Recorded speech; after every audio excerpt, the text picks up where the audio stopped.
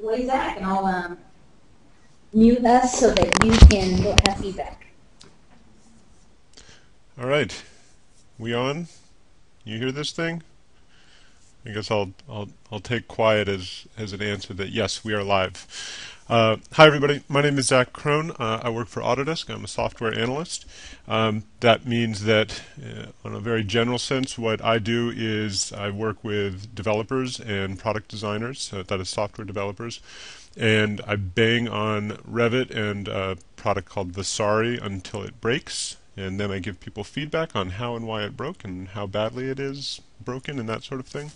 Um, but a lot of what I do is I spend uh, most of my time sort of inside in the guts of of Revit and Vasari, understanding how different pieces of it work together.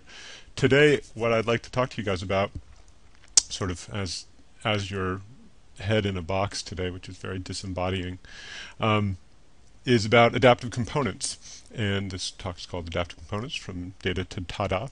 What I want to do is I want to give sort of a brief overview of some of the issues involved with doing um, these particular kinds of elements in Revit and then get into some live demos of sort of more interactive work in the product itself to show you how some of the pieces go together. So if it starts off kind of abstract, stick with me for a little bit and uh, we'll try and get down to something a little bit more concrete. And come on, PowerPoint, work with me. There. So I like to start off with this picture, which is neither Revit nor Autodesk nor something that I've made, but this is a project by uh, Grimshaw Architects uh, done a few years ago as Fulton Street Station. And what it illustrates is something that I really adore about sort of BIM and parametric design in general. And what this shows is there's uh, there's one organizing principle for this sort of large atrium space, which is you've got two arcs. I'm just sort of highlighting one in red, but uh, there's an arc, there's a center point to that arc, and there are all sorts of design details and decisions that fall out of that simple relationship between two arcs sort of coinciding with each other. And the way that they put this model together, which I believe was done in generative components, allows for late stage changes to some of the basic principles of how this thing has gone together. That is, if you decide that the volume needs to be bigger in the space, or that the center point needs to be in a different location, or that you need to move around any number of things. Uh, the model is constructed such that you can make changes to some of those basic premises and have it percolate through all sorts of other aspects of the model. Now, this is a illustration of doing a, a, similar idea within Revit. And this brings me to this one concept to sort of kick this off with, which I have mixed feelings about, but we're going to go with it.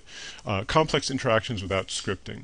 So the model here shows two different sort of views or aspects of the same model. Uh, on my left, I think it's, yes, it's also your left is basically the abstraction of a form, sort of a, a, hallway or an arcade, and on the right is a more detailed representation of that same space as it might be roughed out with structural members. And it's controlled by a rig, that is sort of three control polygons that you can adjust to make very large changes to the overall form. So then the the structure is sort of then a byproduct of those sorts of changes. So you can make changes late in the game. And what this illustrates is this idea of being complex without being complicated, which is a, a quote I'm taking from Shane Burger, who uh, used to work for Grimshaw Architects and now works for uh, Woods Bagot, a large international firm. But uh, the the image that it's illustrating is Waterloo Station, which is uh, a train station in London. It is a ra rather complex roof structure, and its underlying concept is quite simple. It's two arcs that sort of have a, a, a particular relationship to each other. Uh, there's sort of the tangency condition. And they move along this sort of sinuous railroad path. And what this layout for the design allowed the architects to do was to, again, make late breaking changes to the design or sort of be able to flexibly work with the design and have all sorts of other assumptions and structural systems sort of play themselves out based on that. And the way that this kind of design has historically been done has been with scripting. Uh, heavy use of um, some amount of manual computer coding done. Uh, a lot of people are quite facile with it. I am not. Um, I know a lot of architects are not facile with it, but it is quite robust and it is uh, a tried and true method for people to do this sort of complex parametric design. Another one that is very popular these days is also visual programming. A lot of people see this in products like Grasshopper, Revit, and Vasari are starting to develop it with a, uh, a work in progress. It's called Dynamo. And the basic idea with this is that you you create uh, very explicit relationships between nodal characters in an editor, and each node represents uh, points or mathematical functions or other geometry, and you can architect certain relationships between them. And people have been using this to make all sorts of complex things from stadiums to towers to even, you know, small handheld devices using this or controllers for Arduinos and that sort of thing.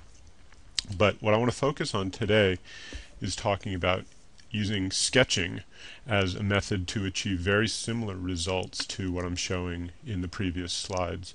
And the strength, I think, in showing a sketch-based method, and this is where adaptive components can really come to the foreground, uh, is that these are tools that architects have been using for since before there were architects. Uh, on the lower right hand, we've got Alberti's um, facade to Santa Maria Novella, which was done, you know, clearly with pencils and straight edges and compasses. But I think that the thing that is interesting to me about this diagram is that it shows parametric relationships. It shows that you've got a proportional system that's defined by um, a certain sort of stepped uh, change that you can be that can be defined by arcs and lines. And on the left, we've got an ellipse, which is usually something that can be very hard to describe in terms of construction, but it can also be something that can be broken down into a series of radii. And then up in the top center, we've got the Waterloo Station again, which can be understood as a series of arced relationships. And if you can draw that sort of arced relationship, uh, I contend that you can actually create parametric relationships through sketching and without using um, graphical editors or text-based computation. So this brings me to the difference between drawing in the computer and computing in the drawing. So, oh, wait, I've got a little comment here. I'm assuming everybody can hear me. Somebody's going to have to send up a flare if you can't. Um, thumbs up? Excellent. Great. Thank you. So computing the drawing or drawing in the computer. This is uh, generally how people have been using sketch-based interfaces with computers. Um, this is the basic CAD idea where you draw something in the computer and it's very much like drawing it on paper. You put your arc down and then it does not actually have any intelligence inherent in it. It is an arc and an arc is an arc is an arc and it has no relationship to anything else. And that can be fine. You can get a lot of work done that way and people have for lots of time. The other idea is sort of a top-down, again, a scripted idea of relationships in the computer. The problem that I have with this, and while it is very effective, um, this shows a piece of code that sort of spews out um, a series of points into three-dimensional space to create complex geometry. The problem with this is that as soon as you take away that piece of code, you still have a bunch of points that are just spewed out in space that don't have any necessary relationship to each other or embedded intelligence. And what I'd advocate for is more of an agent-based design. Here we've got the guys from the Matrix. And the idea with these guys, Agent Smith, is that you have many, many duplicates of the same piece of geometry, but they have an organizing principle that's embedded in each one of them. They each operate independently, but they also together make one sort of larger movement. And so the basic idea here is that we're making relationships and not stuff necessarily. And the way that this works in the Revit interface, and I'm assuming that everybody at this conference has some experience with um, the Revit platform, otherwise I'm not sure that you'd be here. Uh, but just to sort of illustrate a little bit of what's going on under the hood, you start off with a work plane and you draw a point on it. You're not just drawing a point in space. This isn't just XYZ coordinates. You've drawn a point that has a relationship to a work plane. And then if you add more points, those points also have relationships to a work plane. And then if you connect them with a line, that line has a connection to the points to the work plane, head bone connected to the knee bone kind of thing. and so on. If you make points on that line, you get more relationships. And you can start building up real complexity just through what is really a drawing operation, something that is familiar to most architects. So when you're making parametric forms using a sketch-based interface, you generally need to rely on a couple of pieces of mathematical knowledge that you learned long time ago back in high school. I'm talking about basically like sophomore, junior year of high school. You learned about Euclidean constructions, that is, you know, the shortest distance between two points is a line. Basic trig trigonometry. You know, does anybody here remember SOHCAHTOA? Sine, cosine, tangent. Uh, things that you can easily look up on Wikipedia, and some basic algebra. And that between those two things, when you combine them with points and lines and planes, you can combine them also with a tiny bit of math and you can pretty much make anything. So I like to call this a geometer's approach, which is you know a compass-based, line-based, point-based, geometry-based way of setting up relationships. It's also amenable to working with a mathematical mindset. So what I'm showing here in this illustration is two different ways to derive the radius of an arc. Given that you have an arc, you can find out what the center of it is manually uh, by connecting three points on that arc and then making a midpoint perpendicular line and it will derive this point which is its radius, always will be. But you can also mathematically derive it. And those are two different mindsets that allow you to work that way. And I think that the method that I'm going to show allows itself for both. And just one more illustration of what it is that you can do with sort of points, lines, planes, and a tiny bit of math. You can really do anything. Um, that's what the world's made out of points, lines, and planes. So when people say that, you know, whatever software packages is, is is limiting my imagination or doesn't make the forms that I want it to. If you have points, lines, and planes, I, I don't really buy it. It may be more difficult in one thing than another, but you can achieve all those things. And I'm going to show a couple pieces of some stuff that I have more thoroughly fleshed out on my website, which is BuildZ. It's B-U-I-L-D-Z. You can do that at buildz.info or buildz at blogspot.com. Or also if you just do a Google search for it, it usually comes up closer to the top. So let's get down to it. Let's get into business here with the adaptive component. Um, I'm going to look at this room for a second because I want to see how many people have actually played around with an adaptive component? Can I see can I see hands? How many people have used adaptive components? Anybody? Oh, fresh minds. Lots. Okay, great. So I, I will spend some time on this then. An adaptive component is different than many or most of the families that you're going to run into in Revit in that it is not a single point placement uh, family. It can be, but it usually is not. It's helpful to think about it like a, a rubber band that is stretched between a bunch of thumbtacks. You have the thumbtacks being a placement point or number of points, and then you have relationships that you build into the family that sort of stretch and pull and move and accommodate themselves to how you're placing down those three points. And I'll put that in contrast to basically most other families in Revit in that it is not a building feature based family. For instance, when you have a railing, railings have certain superpowers. You know, they have a top and they have a bottom and they have a cut angle. They have a relationship to a railing. It's really great for making a railing and it's built around that. Similar things with things like columns. Columns have a top level and a bottom level because those are things that are important to columns. And each one of those families is really built around the idea of being optimized for a particular building feature, something that you would look up in Sweets, something that you would order off of a truck that is a pre-made element or is a well-defined building element. And that's great. Uh, and they work really well at that. Um, I'm sure that anybody who's been in a in an office using Revit for some amount of time has seen the abuse of this sort of thing. This, these are also railings, or at least they would schedule as railings in Revit. On the left, we've got uh, a louvering system, which was designed using railings because it has repeated elements, and railings are very good at making repeated elements. If you want to change one aspect of it, it'll percolate through it. But that louver is going to show up as a railing.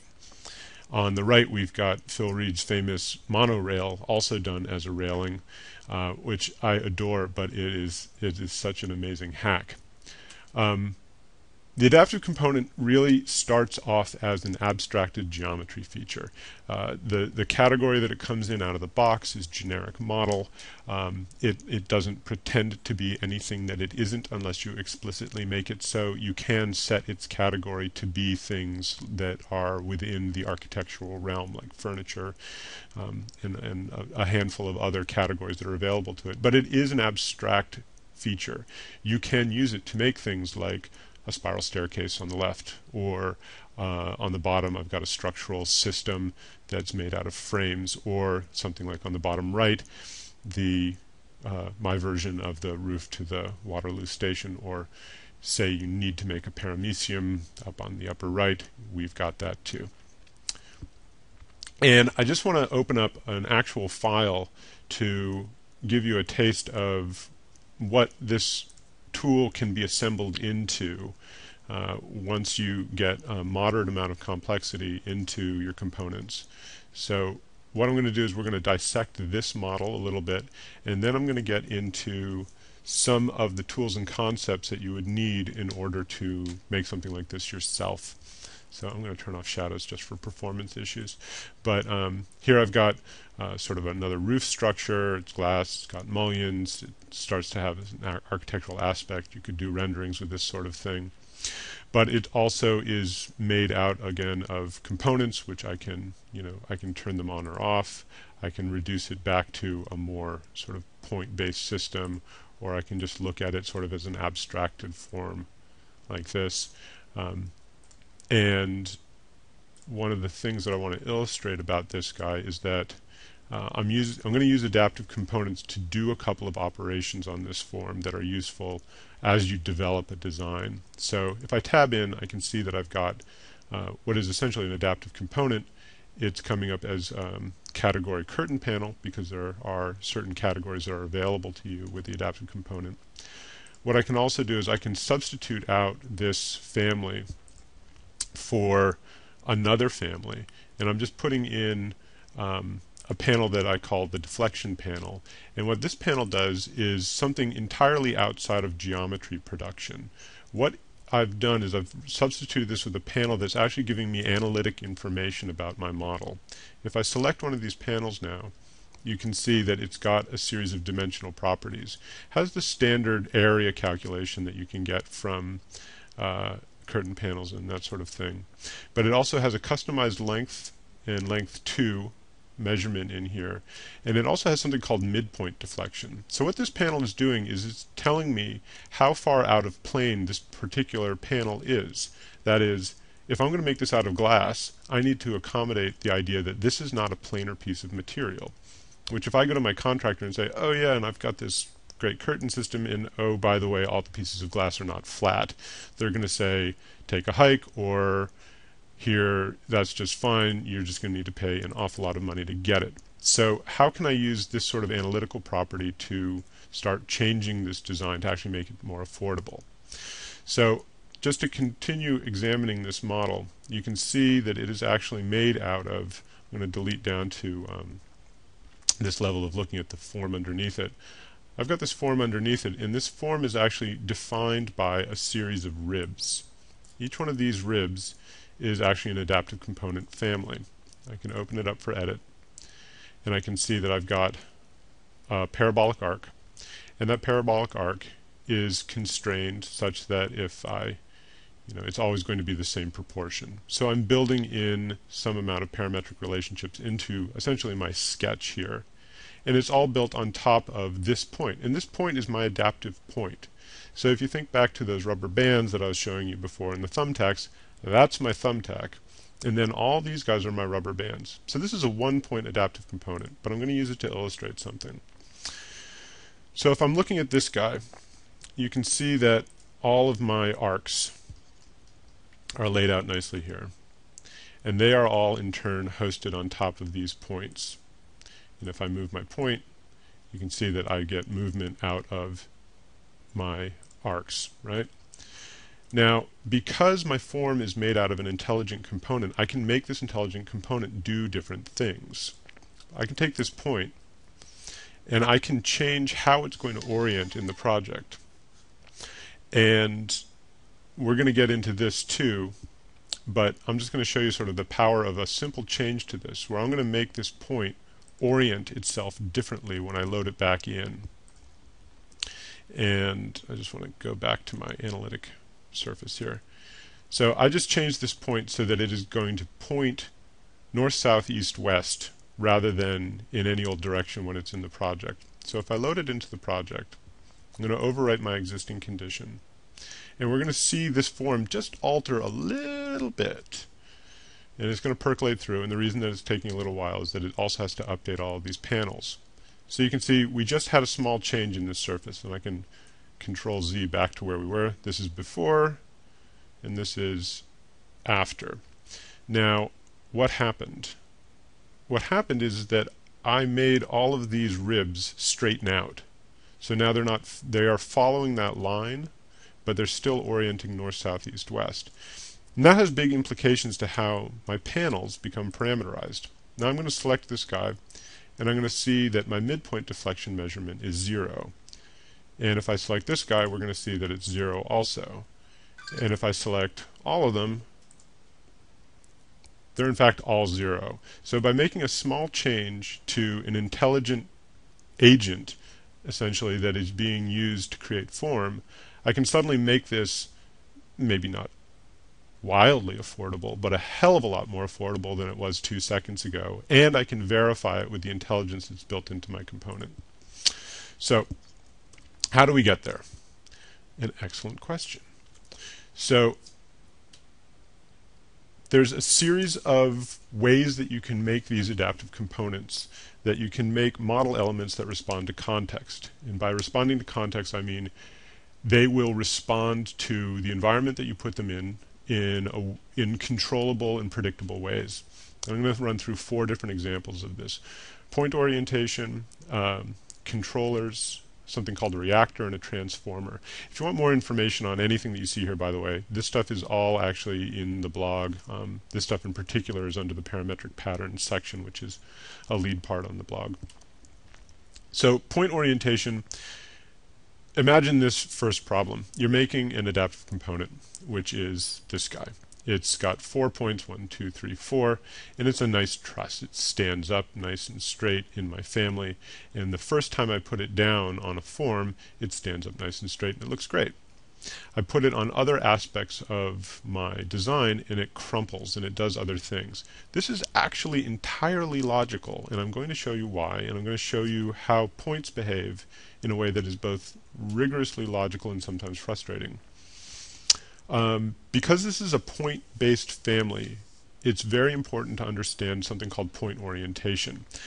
And what I get a lot of questions about with adaptive components is why is my component not standing up? And it's important to ask what is up? Um, are you talking about gravity or are you talking about a z axis on an xyz coordinate plane? Are you talking about a local up or a global up. That is something up as related to your surface or up as related to the planet. And these all have implications, and there are, is uh, a very straightforward way to control this. And so, what I want to do is uh, I'm going to open up an example family that I've got. New. And that illustrates this. And again, I'm going to put a recording of this, assuming that I don't totally crash and burn at some point, so that you can inspect these families on your own.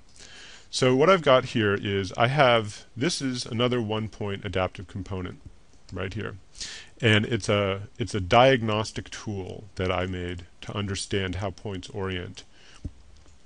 And if I open this guy up, I can open it for edit. what I've got is I have again just one simple adaptive component and it has three points hosted on it. And each one of those points is hosted on the work plane of this point. So every point has three work planes. And if I load it into my project I can place it down, and it seems like it makes a lot of sense. I just put it down on level 1, and there it is, just standing up as I expect it to. However, if I place it over on other aspects of the model, I'm going to see it do all sorts of different things. Here it sticks out uh, to one side. Here, if I put it on a line, it sticks out to another. And this can be kind of confusing. But what it's illustrating is that um, it's inheriting its idea of up from whatever the context is that it's put on. So here I'm putting it on this surface, and that surface is saying that up is pointed out in this direction. Well, I can say, well, that's all well and good that up is in that direction relative to whoever I've hosted it on, but I want it up relative to gravity because that's the world that I'm going to work in. If I select that point, I can go over and I can look like anything else in Revit, it's got a whole bunch of properties. And the property for this adaptive point that I'm interested in is orientation because I want to control how it's oriented. Right now it's by host reference. That means it's going to take its idea of up from whatever I put it on. That means that I can also override it and I can make it point something else. So I can change it to vertical on placement. That is, I want this point, no matter what I do, to always be vertical. So if I load that back into the project, I'm going to overwrite my existing uh, stuff, and suddenly we see everything stick up. So I'm going to just Control Z that just so you can sort of see before and after. So here we have uh, deriving up from whatever the local coordinate system is, and up derived from I want to be vertical relative to gravity. I want to be vertical always. They're not all still sticking in the same direction. It's deriving its vertical, but it's still getting other information from the rest of the context that is put in. So if I take this guy, which is in fact hosted on a circle, it's still going to be creating some tangency relationship to a circle because it's going to get some of its information from the circle, but some of its information from vertical. Well, let's say that I don't want this family to be following any aspect of this circle other than being hosted on it, having that one point hosted on it. Well, we have a control for that too. So if I select that point, I can change from vertical on placement to orthogonal on placement. Orthogonal on placement means that no matter what, I'm going to have be pointed front, right, and, and top. I would say north, south, east, west, but it, it's it's project level. So if I overwrite everything here, we can now see that everything is in fact pointed in the same direction. All of these guys are now in lockstep with each other in terms of their orientation.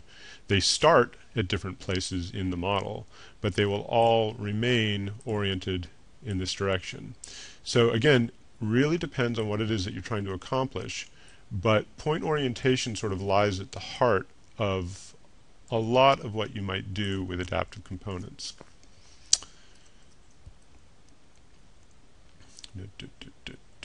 There. Shoot. Where was I? Point orientation. All right. Next, I want to talk about a concept called a controller. And this is, again, sort of previous to talking about adaptive components in particular.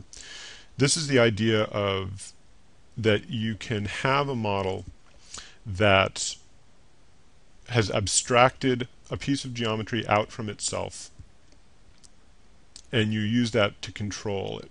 This is a little video. I don't know how this is playing back over GoToMeeting, but I've essentially got a, a graphic equalizer here. Say I've got a bunch of columns over here in green, and then I have a control rig. And what I've done is I've taken some parameters over here and I've hooked them up to this guy over here to basically abstract out my geometry into a series of relationships that I think are important. And I'm actually going to open up that file because uh, I like this one. It's kind of fun. And again, all these families are going to be up on the site so you can dissect them and use them for your own evil purposes. and that is, let's see, controller equalizer. All right, so here's that family again. And what we can see is that for each one of these guys, this is a column, or it's columnar geometry, I should say. And it has an offset parameter. And that offset parameter is controlled by E. I've just given it the parameter E. And E has been related to E1, which is over here.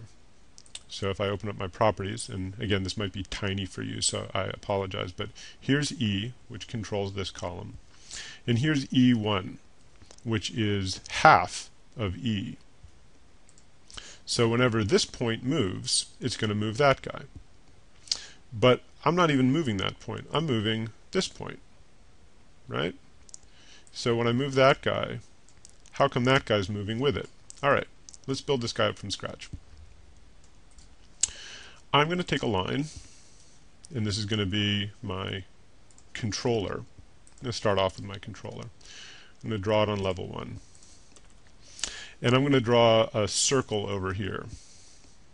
It's also on level 1. And this isn't going to be quite the same thing, but I'm just going to show you the concept of a controller. So, oops. I think I did that as a filled circle. I don't want it to. Oh, by the way, you know, I forgot to mention it, but I'm doing all this stuff in Vasari, but all of the same stuff is exactly the same in Revit. Um, so if I select this measurement, I can add a parameter, and I'll just call it ASDF. Well, no, I'll give it something sensible. Radius. Okay? And then I'm going to take a point, and I'm going to put my point on my line, like so. Now, if I select that point, I can see that it is hosted on this line. If I move this line, it'll move with it, sort of standard behavior, right? I can also set a parameter to that line, to that point. Right now, it's parameterized at a value between 1 and 0. Uh, I can change it to be parameterized by its length. Now it's at 41 feet as measured from the start of the line lines have a start and an end. And I'm just going to take that parameter and I'm going to I'm going to name it. I'm going to call it controller. Right? So I can still move this guy, no problem. Doesn't mean anything. It has no relationship to this guy over here. But I can make them related. So if I go to my controller and my radius parameters, whoops, radius parameter, controller parameter.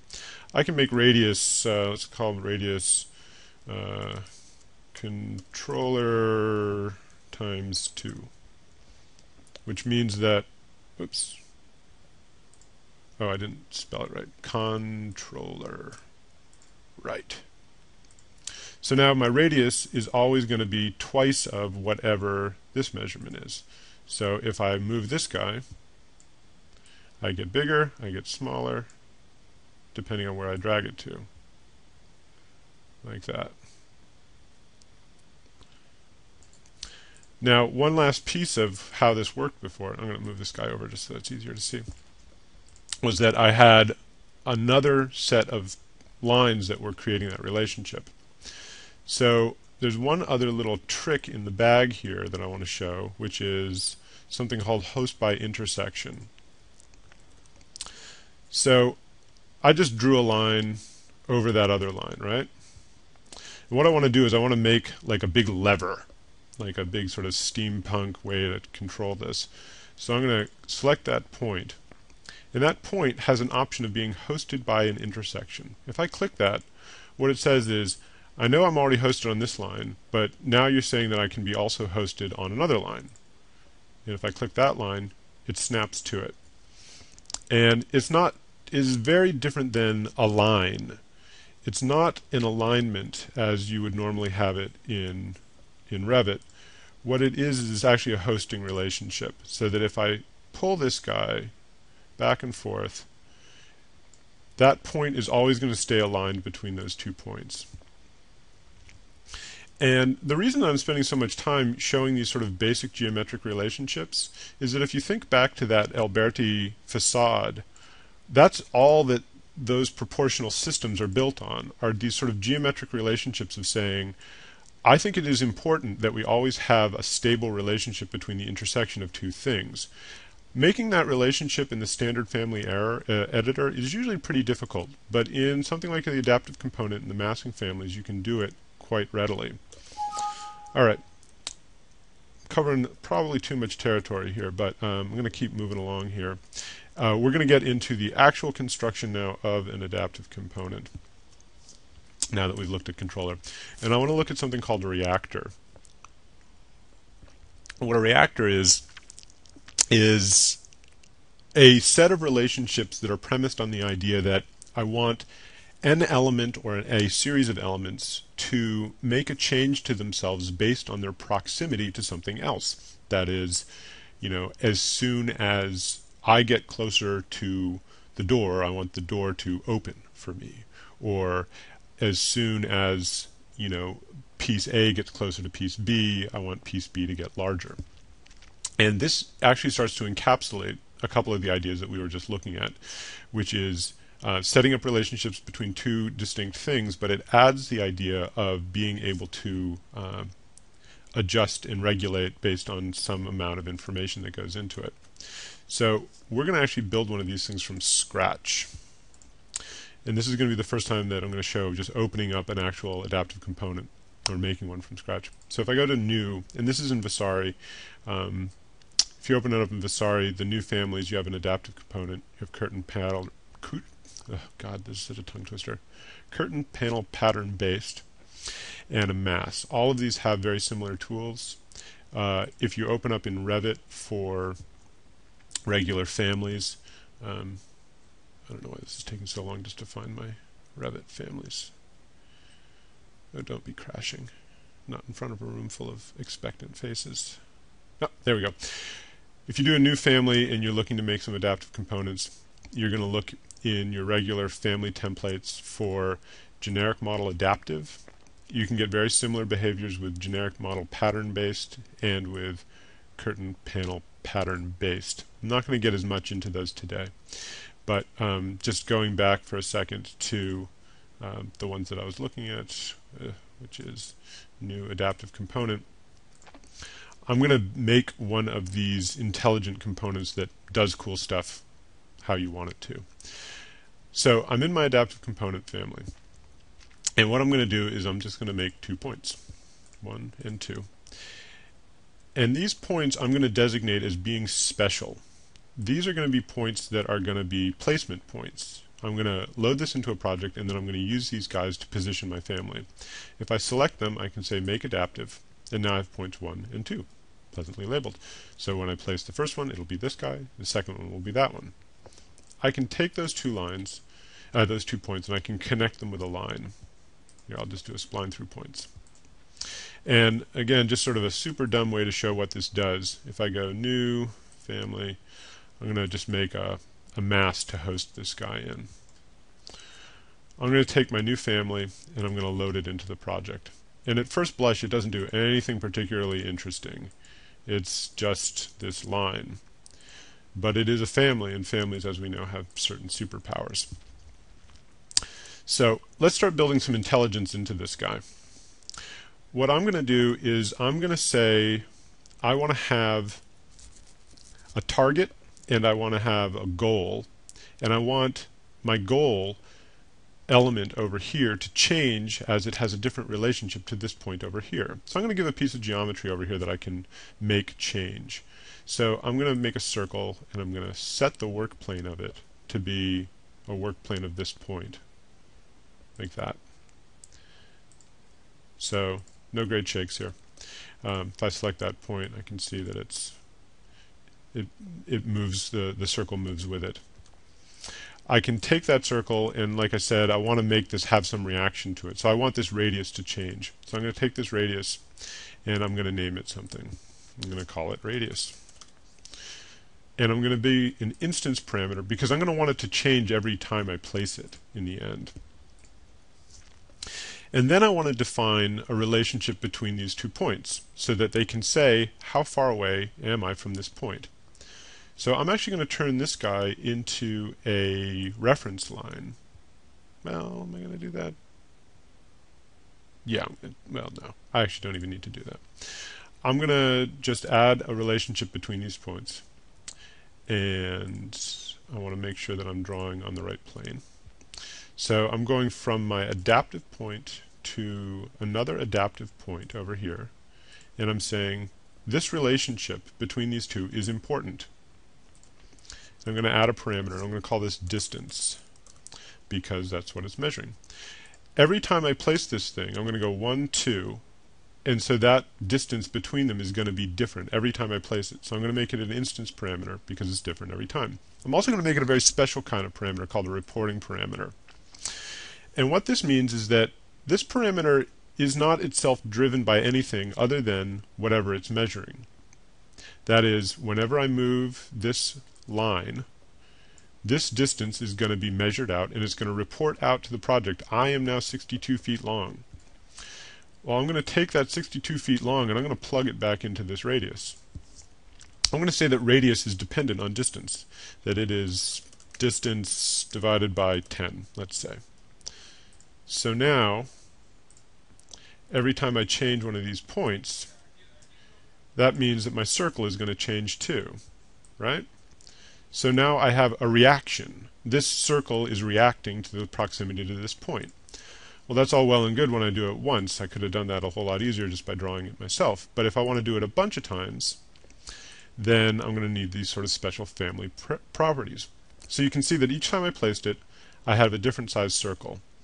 Well, the real fun comes when you can do this a lot of times and start making stuff with it. So I'm going to make a surface here, like that, and I'm going to divide it and again, there's there's like hours of talk about anything in, in a lot of these different tools. Divided surface is its own thing.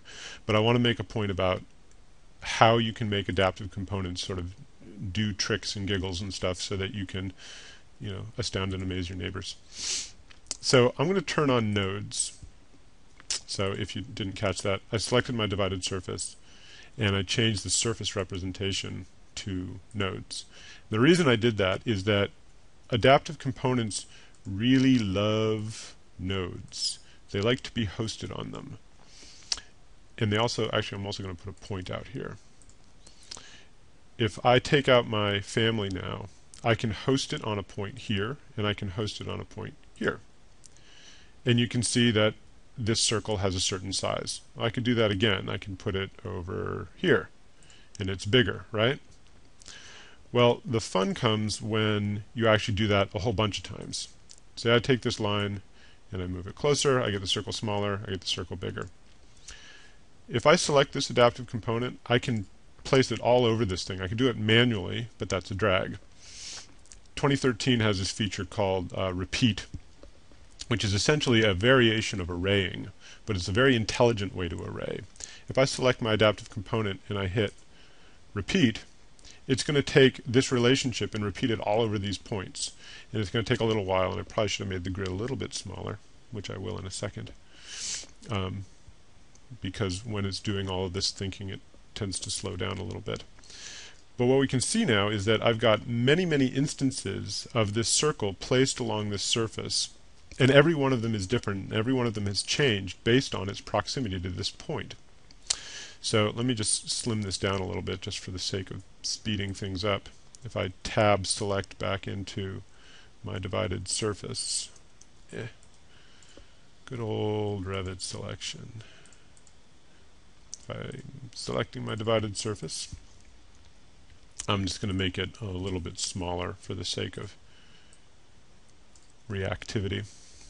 I just changed it to an 8 by 8 grid, which just makes a whole lot less of pieces to regenerate. So if I take this point, now I've got an intelligent relationship between this point and all these guys over here. So if I take this guy and I stretch him over, put him right in the middle, you're going to start to see some dramatic differences between each one of these instances. And come on, bam. There. So now I've got all these different guys. They're having some intelligent reaction to their proximity to that point. I'm going to try and pick it up here a little bit to get to the end, and then maybe we can get some questions. Finally, I want to talk a little bit about data abstraction and extraction. Reporting parameters and adaptive components can be used to generate variations in geometry, like I just showed with that reactor family, where I've got a relationship set up and just make different kinds of geometry based on that relationship. But you can also turn it into tabular data, you can turn it into colors, you can turn it into things that analyze your model and get information back out of it. Like I was showing initially with those panels that were telling me how deformed each one of my uh, my glass panels was going to be. And I want to just delve into reporting parameters and how they work with adaptive components a little bit more and hopefully get to some questions. Um, this is a panel that I made and has actually been used in practice by a, a few architects, at least so far.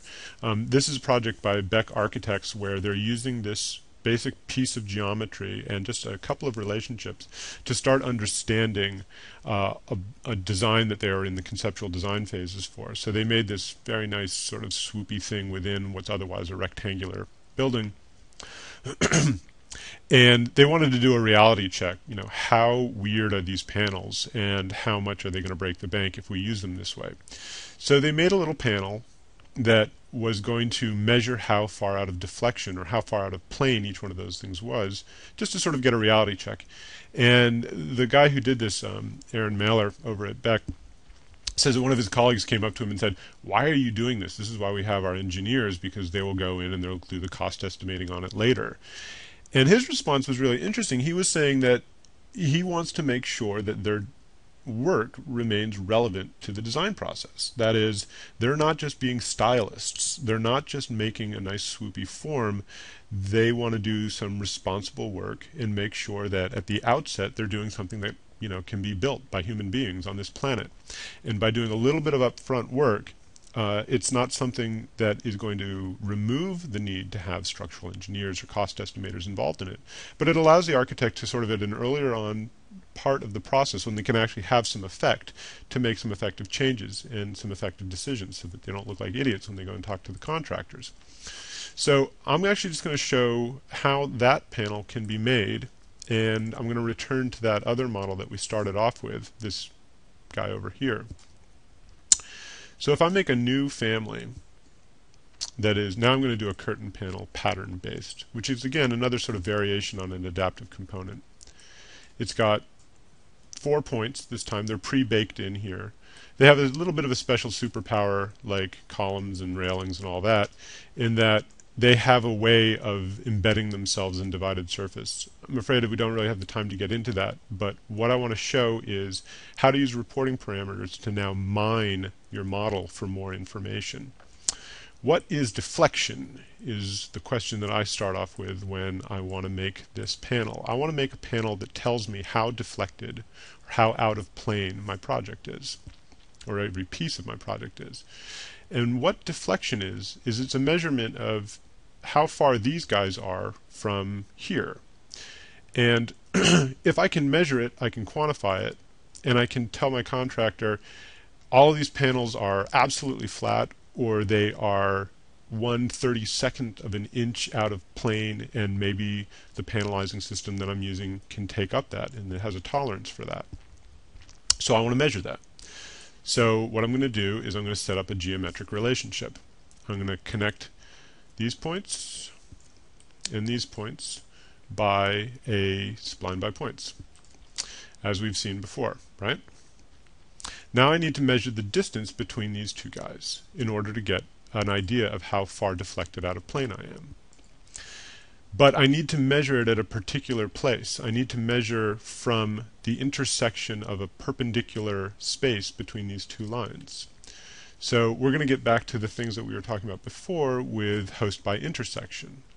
If I take my point here and a point here, and just to show this a little bit better, you can see when I select it, I get um, a perpendicular work plane to this line. I'm going to make those just show up because it's nice to see. So over here in my properties, I'm, in the graphical properties of these points, I'm going to always show my reference planes. And now I want them to have a particular relationship to each other. So I'm going to select my point, and as we did before, I'm going to host it by intersection. And I'm going to select that line. And now it snaps so that those guys are always lined up, like so. And I can do that with this guy too. So I'm going to host that by intersection over here. So now, no matter what I do with these guys, they're going to have a very tight relationship to each other, and one that happens to also be the relationship that I want to measure. So if I take my align dimension tool and I put it on the work plane of this point, I can now make a measurement between that line and this line. And that is my deflection, right? So once I have that deflection, I need it I need to name it so that I can use it later on. If I name it, I'll call it deflection. And because it's a it happens it's different every time I make it, I'm going to make it a reporting parameter. So every time this guy gets placed, it's going to tell me how deflected it is. now, I'm just going to open up that more complex piece of geometry that we were looking at before. And recall how I had, I'll do this from scratch here. I'm going to delete that surface. I'm going to select it. I'm going to divide it and I'm going to make it a little bit denser in its division. Let's make it 8 by 8 just so it regenerates a little faster. Well, I've got this deformation panel in it, which is almost identical to the thing that I just made. Um, it has two other measurements. It has a, a length measurement. But this is, in other ways, entirely identical to just what, what I just showed, how you can make it from scratch. If I take this surface, I can load into it any kind of panel I want. I can do mullions, I can do all this and that, but I want to actually load into it my deflection panel. If I load my deflection panel into it, every time that panel gets placed on this surface, it's going to tell me information about this particular quadrilateral panel. And as we were showing before, if I select it, it will tell me that this is in fact deformed. It's not totally flat. It may be flat enough for my contractor, or it might be flat enough for my fabrication needs, but maybe it isn't. If I go into this guy, let's see, you know, this one's three inches out of plane. I doubt my piece of glass can flex that much to fit in there. So what do I do about it? Once I have this piece of information mined out, well, that is where we get our orientation parameters coming in again. And that's just to return to where we started if I edit that profile, those ribs, I can select that point and I can make certain changes to how it orients in its host orthogonal on placement. So now all of these guys are going to point in the same direction. I'm going to load it into my project, building test. And so now I've got my reporting parameters working hand in hand with my orientation parameters to allow me to start doing initial stages of design where I can actually do intelligent work that gives me something that's more buildable in the end. Only got a few minutes left. Um, there's lots of other things to talk about this, but I want to just sort of blow through this and then see if we have some time for a couple of questions. So where this is all going is that I want to make a distinction about drawing in the computer or computing in the drawing these families that I've showed a little bit about how you can author them are about how you essentially start creating complex relationships at the level of your families. And that these families, when you use them with each other in workflows, you can actually start making very rich models that you can mine data out of later on. Um, there's a lot of applications for this. Um, this is a form that I made that reads out how much it's pointing up, down, north, east, south, and west, and changes its color and how big the aperture is. The basic idea with this is that if I'm facing south and up, I want to have a teeny tiny window to slow down on solar gain. If I'm facing down and to the north, I'd probably like to open up my windows a lot more to have more sun exposure. And this is using the same principles of orientation and reporting that we just covered. Uh, here's one where each one of these panels reads itself out on a surface and then it redraws itself somewhere else flat. The idea here is that this is a um, sort of a prefabrication workflow where you can start to understand how do my panels, how do you cut them out? How do you actually assemble this? And lastly, this is a form that measures itself and reports out how many of these panels are similar to each other. So the orange ones are essentially mirror images of each other. Uh, the blue ones are all the same uh, angle condition and the same length.